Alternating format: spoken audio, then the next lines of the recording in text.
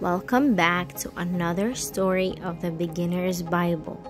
If you have a copy, go grab it now. I am waiting.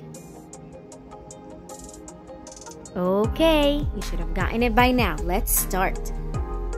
The Tall Tower. After the flood, everyone spoke the same language. One word meant hello, one word meant mom, and one word meant dad. So they all knew the same exact language. The people said, if we work together, we can do anything. Let's build the tower that goes all the way up to heaven. Then everyone will see how great we are. The people worked on the tower.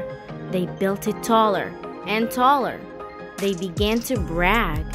God did not like the way they were acting. It was as if they no longer needed Him.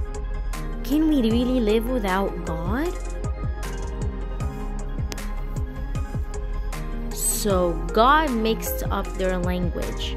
When they tried to talk to each other, it sounded like babble.